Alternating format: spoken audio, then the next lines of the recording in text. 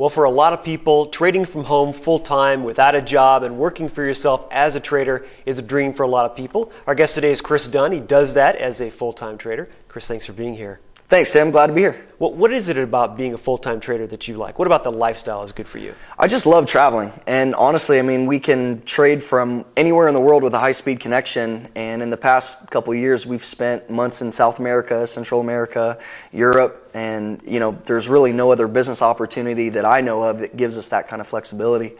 And how about trading in after hours now? There almost isn't an after hours, and it's getting more and more so. Uh, do you find trading opportunities around the clock? Sure. I mean, especially in Forex, you know, you can trade 24 hours. But for me, I, I typically focus on the morning session, U.S. time, and on average, I'm trading about two hours a day. So gives the flexibility of time as well to, to go into and do other things with our time. Trading from home, uh, which is where most traders do it, although you can travel while you have this lifestyle, uh, do you find that it gets to be a lonely business, or are there ways that you can get out and kind of uh, talk with other traders? Yeah, absolutely. Trading is a lonely game if you're trading at your house or in your office by yourself. But with technology now, you can hop online and literally trade with dozens or hundreds of people, just like you're sitting right next to them.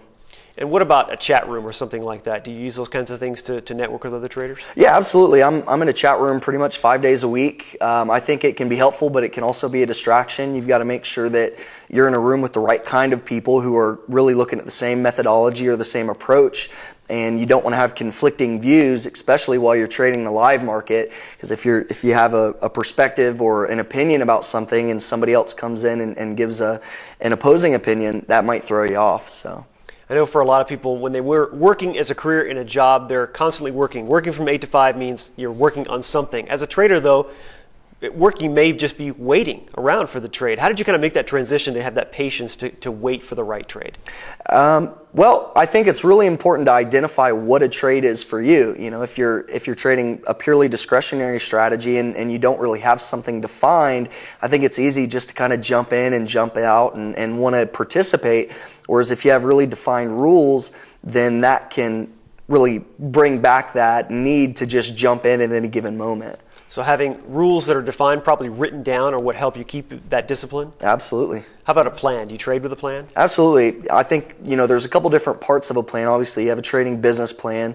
For me, I have a trading action plan, which is you know kind of step by step how we execute a trade, how we manage a trade, and then what I do to take profit and ultimately get in and out of a sequence.